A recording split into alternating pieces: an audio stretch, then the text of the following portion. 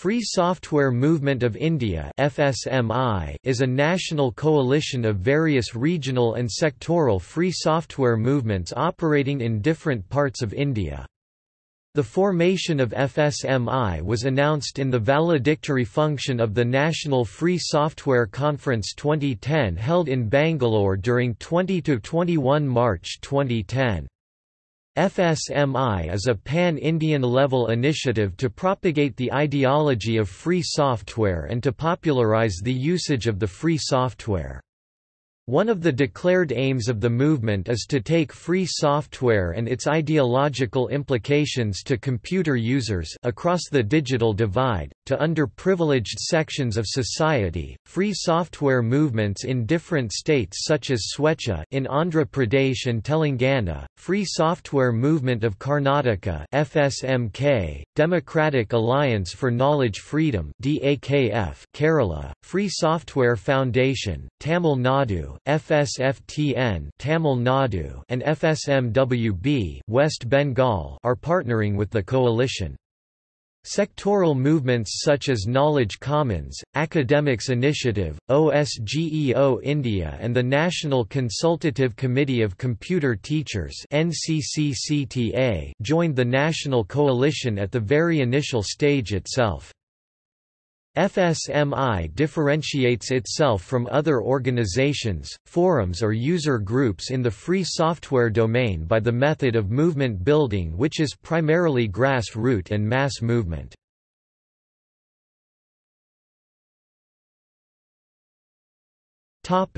Governance The founding conference of FSMI elected a general council having 69 members, an executive committee with 28 members and the following office bearers. President, Joseph Thomas. Appropriate Technology Promotion Society, Kochi. General Secretary, Kiran Chandra. Free Software Activist, Swecha. Topic Objectives FSMI is a pan-Indian level initiative to propagate the ideology of free software and to popularize the usage of the free software. One of the declared aims of the movement is to take free software and its ideological implications to computer users across the digital divide, to underprivileged sections of society.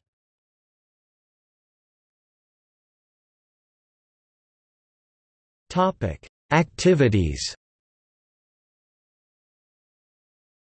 The All India Council for Technical Education had made mandatory the use of the proprietary Office 365 in all engineering colleges in the country. This mandatory mandate was rescinded after intervention by several groups led by FSMI. The Free Software Movement of India FSMI has alleged that the new guidelines for examination of computer-related inventions are illogical. It argues that they violate the spirit and law contained in the amended Patents Act of 1970 and could pose a grave threat to innovation in our country. It cautioned that permitting software patents through the back door would severely restrict the innovative capabilities and would adversely impact the creative and entrepreneurial spirit of the youth in the India.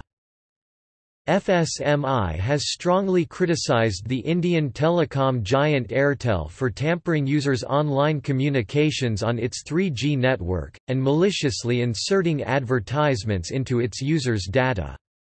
In a statement issued they also stated that Airtel acted in violation of the privacy rights of at least thousands if not millions of Indian citizens and has rendered their online communications unsafe. FSMI appealed to all groups working on net neutrality to oppose Airtel and Flash Network's illegal and unethical actions and share the code that exposes Airtel widely, thus defeating corporate attempts to muzzle citizens' right to free speech which are only intended to cover up acts of corporate malfeasance. A call to protest on 9 June 2012 for Internet freedom was given by FSMI to which there was a good response across the country. In Hyderabad police scuttled a planned protest by activists of Free Software Movement of India FSMI. A good number of software engineers, students and other campaigners assembled near People's Plaza on the Necklace Road. A senior police official threatened FSMI activists with arrest and confiscation of all protest material and T-shirts. The activists contended that theirs was a token protest and they had no plans to organize a rally. The police initially took Y. Kiran Chandra, General Secretary of FSMI into policy custody along with fellow activists. After hour-long arguments, the police spoke to higher officials who directed them to be shifted to Indira Park. The protesters left the venue with a police patrol team piloting the protest for National Convention for Academics and Research was organized by FSMI in December 2011. The conference was inaugurated by former President of India Drive APJ Abdul Kalam. The concept of free software, wherein knowledge is created by the community for the community, without being driven by commercial interests, must be extended to research to solve problems in health care, agriculture, energy and safe drinking water, the former President APJ. Abdul Kalam, said.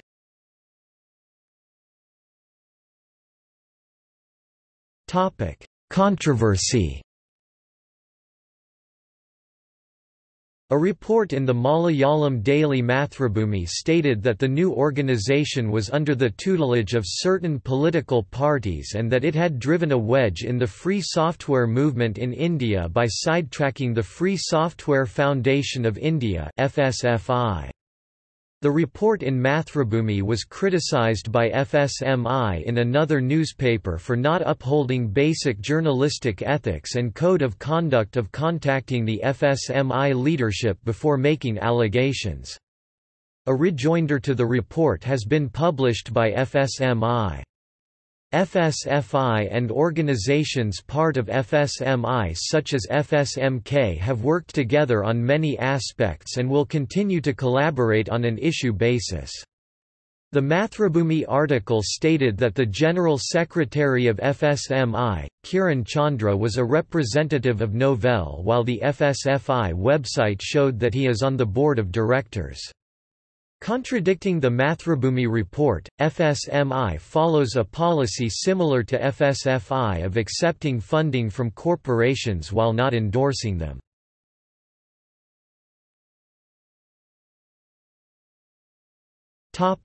See also Free Software Foundation GNU – Linux Public Patent Foundation Software Freedom Law Center